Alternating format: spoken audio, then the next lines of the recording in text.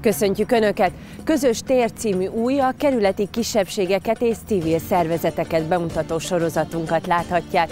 A mai első adásban ide az egykori Pest Budamozi helyén létrejövő görögség házába tekinthetünk be, mert hogy a görög családok aktívan részt vesznek hétvégenként a felújítási munkákban. A mai műsorban tehát a görög kisebbséget mutatjuk be talán most vagyok itt negyedszer vagy ötödször, amikor az időm engedi itt vagyok, mert ugye ez közös érdek, ez a görögség háza lenne, és azt gondoljuk, hogy fontos, hogy itt legyünk és haladjunk a munkával. Hát jelen pillanatban a legtöbb, amit tehetünk, hogy hogy önkéntes munkában november óta minden hétvégén itt dolgozunk, és bármilyen olyan munkát, ami igazán szaktudás nem igényel, azt elvégző, elvégezzük.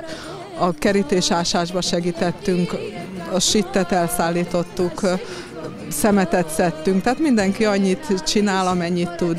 2009-ben vásároltam meg az Országos Görög Önkormányzat ezt az épületet, és hát ahogy látjuk, bár változások történtek, de azért feladat még bőven, bőven van még hátra. Így van, így van, rengeteg feladat van. Azon vagyunk, hogy tulajdonképpen minél előbb ez készen legyen.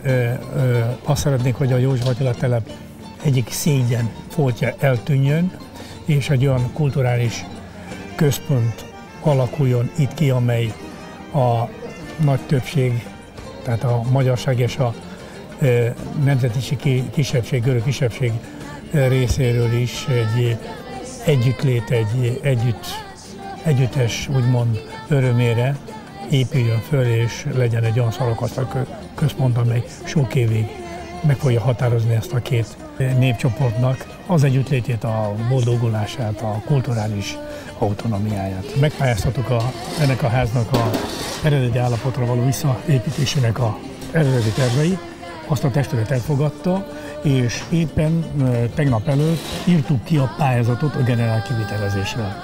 Tehát most és akkor fel fog majd gyorsulni igen, egy kicsit igen, az események. Igen. Mikorra várható egyébként majd, hogy ez az épület e, teljes pompájában álljon itt? Teljes pompájában nem tudok időpontot mondani, de az, hogy használatba vétele, úgy gondoljuk, hogy március-áprilisban, tehát első lépésként a kultúrháza. Bármint még ebben az évben? Még ebben az évben, igen. Az akkor gyors munka lesz, Remélem. mert majd meglátjuk, hogy van még azért mi, mit tenni. Mi görögök ilyenek vagyunk, Igen? mint a zorbásztánc. Lassan kezdődik, de utána nagyon fel tud pörögni. Na meglátjuk.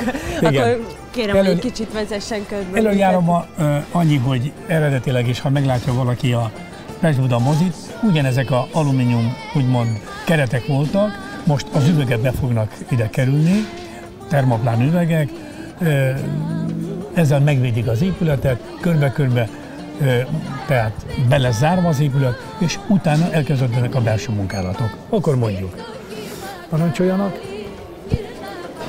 Itt, itt valahol jobbra egy ilyen befogadó ilyen fogadó helyiség lesz, ahol a büfé lesz, asztalokat fogunk kihelyezni, ez napközben is működni fog.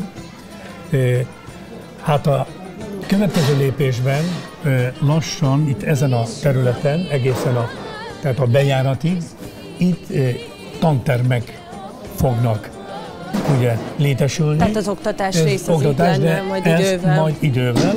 Egyelőre ez egy tér fog maradni, ez a befogadó tér, ahogy korábban is az eredeti tervekben ott hátul voltak a, a, a mellékhelyiségek, ott maradnak, egy recepció lesz ott, oldalt, meg fog maradni ez a műemlék, ami Pest Budát, ugye a, a, a mozaikfal. Igen,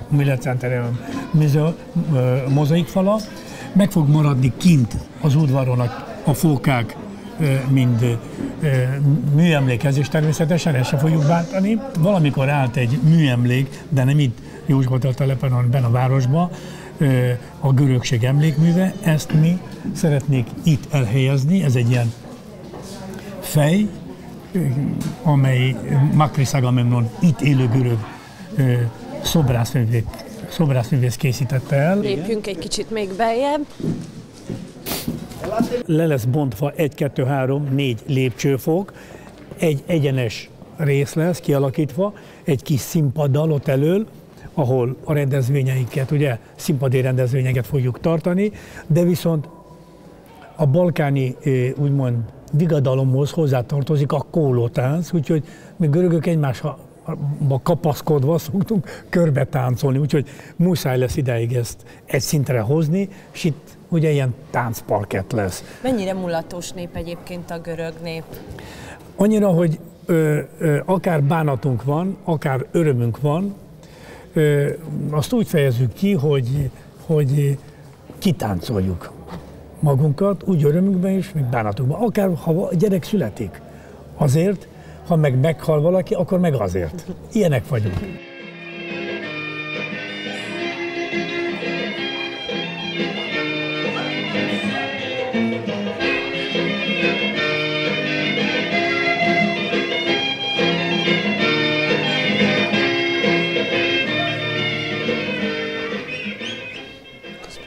Itt voltak valamikor a, a gépek, a mozigépek, tehát egy nagyon nagy terem volt ez, és itt dolgoztak ezek a gépek.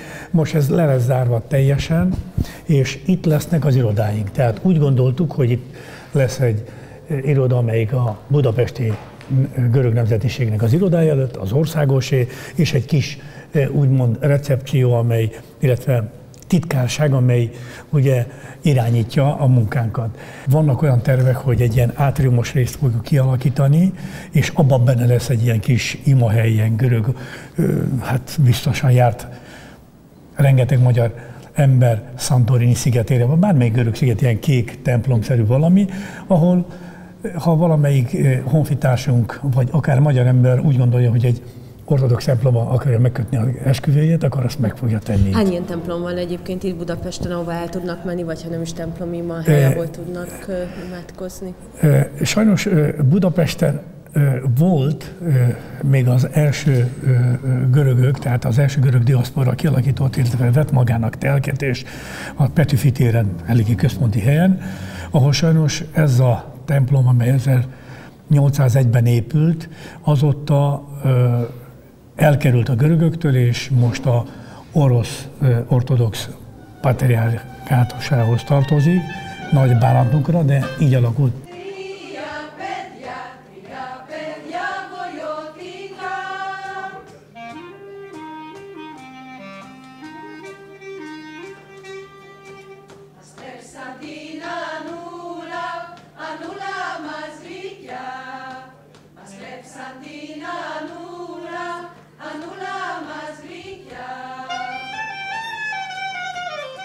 Ide gondoltuk azt a második ütemet, amik, amikor is akár EU-s pénzekből, akár a görögországi támogatással, illetve az itt élő görögöknek a pénzügyi támogatásával fel tudjuk építeni azt a második, második ütemben azt a épületet, amelyben lesznek a úgymond a próbatermek, a iskola, 21 tantermes iskola, és természetesen olyan kisegítő helységek, amely az egész működést majd rentábilisan fogják tenni. Itt a ház alatt pincék vannak, hogy ne zavarjuk a, mint a közönséget, ott lesz, lesznek a táncpróbák, a zenekari próbák. Minden szombaton tartunk zeneoktatást. Rengeteg gyerek jár. Rengeteg. Úgyhogy ezt itt fogjuk csinálni. Milyen hangszereken lehet egyébként, amik a tipikus görög buzuki, hangszerek? Buzuki, hát nyilván, igen, ezt mindenki tudja, de azon kívül még esetleg...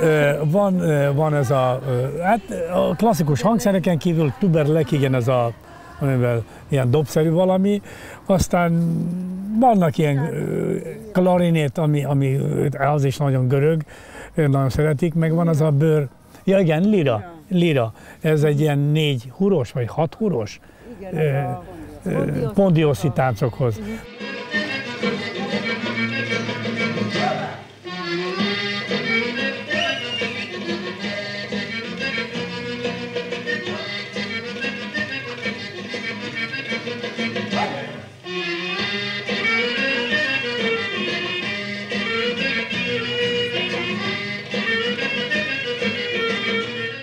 Táncot, milyen görög táncokat ismer? Görög néptánc.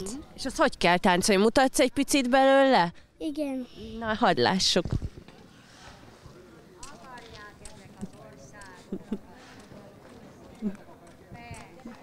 És a táncon kívül még mi az, amit uh, ismersz, vagy szeretsz, mondjuk milyen dalokat, vagy hangszereket ismersz? Ismerem a baglamát. Az micsoda? Egy görög gitár. Szeretnél te is majd valami hangszeren játszani? Igen. Melyik tetszik még neked? A dob. És görögül mennyire tudsz beszélni, vagy kivel szoktál görögül beszélni, vagy ki tanított téged erre a nyelvre? A görög oviban a tanítónéni. És tudsz nekünk valamit mondani görögül? Igen. Na, hát halljuk. Efaristo. Ez a köszönöm. 18 éves lesz a fiam nem sokára, és első perctől kezdve születésétől fogva csak görögül beszéltem hozzá. Amíg három éve otthon voltam vele a gyesen, csak görögül beszéltem vele. Abban a pillanatban, hogy kiléptünk a házból, úgymond a, a lakásból, minden haver nem tud a gyerek magyarul, mi lesz vele? Ne aggódjál, mondom, mert itt kint csak magyart hall. És a gyerekem nagyon szépen beszél görögül is, magyarul is. Ahogy elsős lett, vittem párhuzamosan a WC utcába görögül, tanulni, nyolc évig tanult írni, olvasni rendesen tud, és a mai napig is használja mind a két nyelvet. Kimegy Görögországba, semmi problémája nincsen. 9. kerületi önkormányzat én úgy gondolom, hogy elég színes programokkal és eseményekkel van jelen a 9. kerületi ö, életében. Tehát most ugye a legfontosabb a, görögségháza, de hát emellett nem szabad elmennünk amellett, hogy az önkormányzatunk, a nemzetiségi önkormányzatnak a fő tevékenysége ugye a hagyományőrzés, a nyelv és a kultúrának az ápolása. Havi rendszerességgel minden hónapban görög táncházat tartunk a közösségi házzal együtt, ahol előtte egy órás tánctanítás folyik az érdeklődőknek, a kezdőknek. Minden görög nemzeti ünnepünk évfordulójáról megemlékezünk, megtartjuk az megünnepeljük az ortodox húsvét és a karácsonyi ünnepet is. A Vörös Sándor általános és középiskolában már két alkalommal tartottunk görög táncházat, és természetesen minden olyan eseményen ott vagyunk, ahol a 9. kerület meghív minket és szívesen lát. Ilyen például a kisebbségi kavalkád, a lakótelepi vigasságok és a Ferenc napi búcsú is. 2012-ben főleg a prioritást a gyerekek és a nyelv fogja élvezni a 9. kerületi görögség életében. Ezért már elkezdtünk szervezni egy belföldi anyanyelvi tábort, ahol már felvettük a kapcsolatot görög nyelvtanárokkal, segítőkkel, tánctanárokkal, és ők is önkéntesen fognak eljönni, és segítik a tábornak a lebonyolítását és a levezetését. Említetted a József Attila lakótelepi vigasságokat, ahol ugye a tipikus görög ételekkel is megismerkedhettünk, úgyhogy most ezt fogjuk feleleveníteni. Papa Filipász vagyok, a görög kisebbség, 9. kerületi görög kisebbség önkormányzattól. Bemutatnám itt a görög ételeket, italokat. Ez annyit jelent, hogy ilyen falatkák, ilyen az előételekhez tartozik. Na most itt lehet látni ilyen szőlőlevelet. Mi van benne a szőlőlevélben? Ebben most ilyen rizs van, meg még fűszerek, mindenféle ilyen fűszerek vannak, citroma le vannak öntve, van az óriás bab, amit úgy hívják, hogy gigandész, van olivabogyó, és fetasajt. Na de nem csak ételek vannak itt, hanem italok is, hát ezek is mondhatjuk, hogy tipikusan görög italok. Uh, igen, elkezdenénk a görög italoknál. Van itt ez az imiglikos, ez egy ilyen félédes uh, fehér bor. Nagyon kellemes. Utána mellette hát mindenki közismert a metaxa, az egy ilyen konyak. Akkor utána van az úzó. Úzó ez egy ilyen ányis pálinka, nagyon kellemes. Ezeket mindig jégbe kell hűteni, és nagyon finom, és utána a legvégén van a Mavro Daphne, az egy ilyen desszert, mazsula bor, nagyon fűszeres, ittatja magát.